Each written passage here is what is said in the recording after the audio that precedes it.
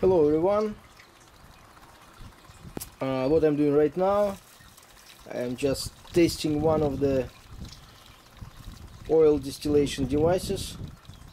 Distilling oil, it's at 420 degrees, just gaining temperature slowly. Here we've got some waste output.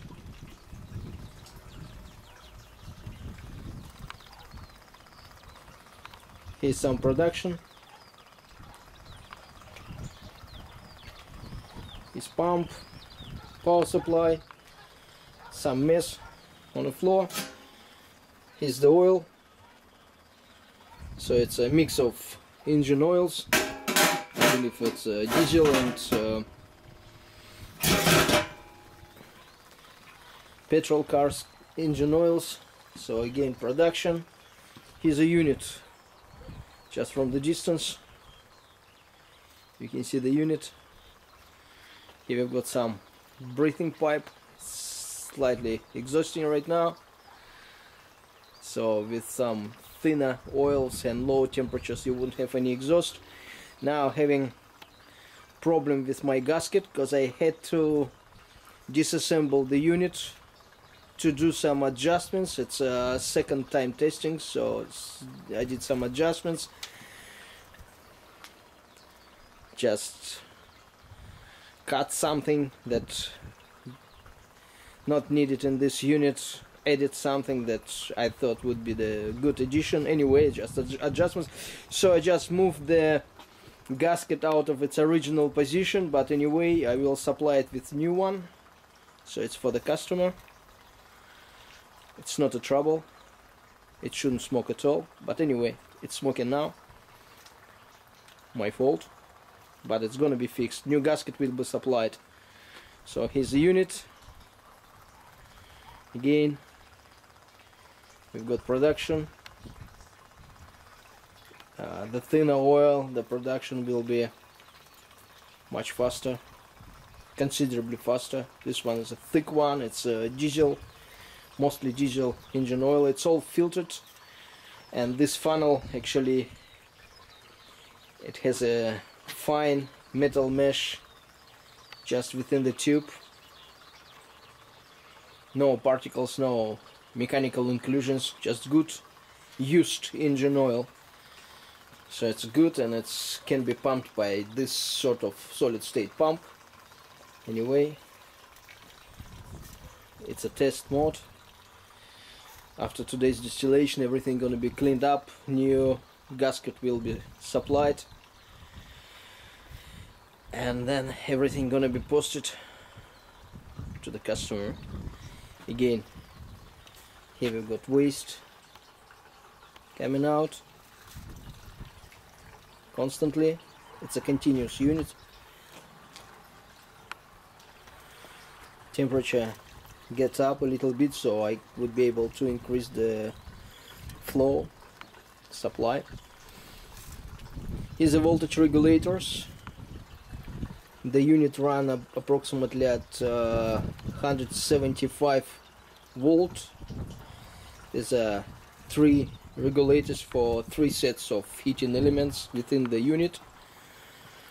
I wouldn't recommend to run it any hotter because uh, otherwise we will create some hot spots within the unit and oil will be burned rather than boiled.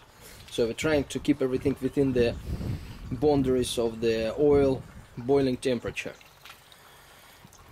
within this range. So 334 I'll increase a little bit. Just slightly.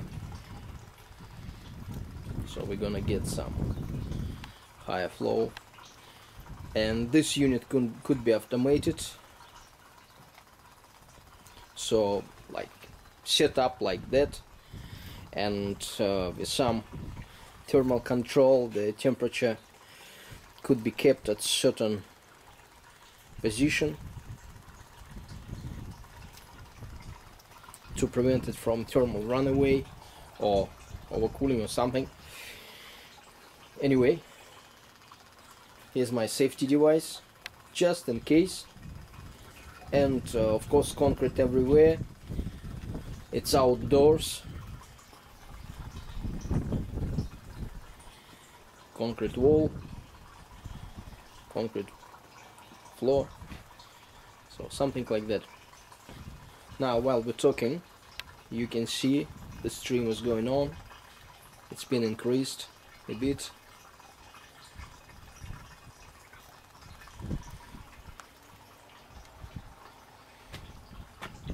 Waste. It's just uh, production of the waste is getting down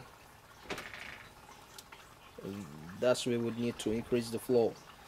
Sorry. Sorry for shaky camera.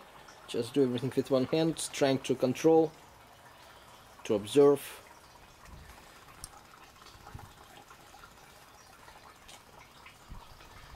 Trying to increase the flow.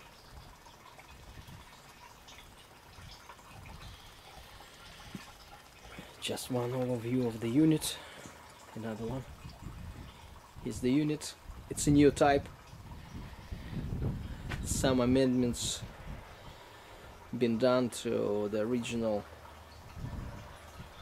unit original construction. Now it's slightly different. Um, the construction of uh, of the boiler is more compact. I would say a little bit more simple. A little bit simpler than it used to be before something like that.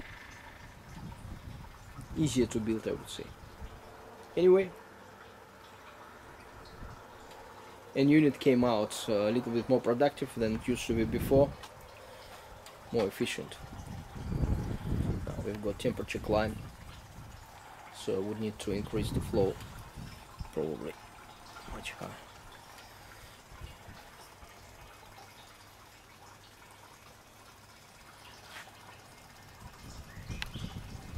yeah it's all about thermal control. Some electronic controlling devices needed to keep it at certain temperature.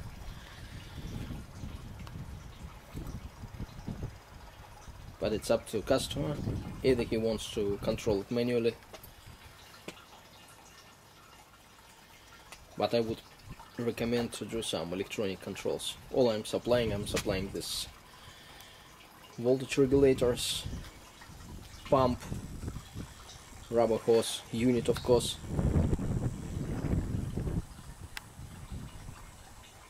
It's a waste coming out.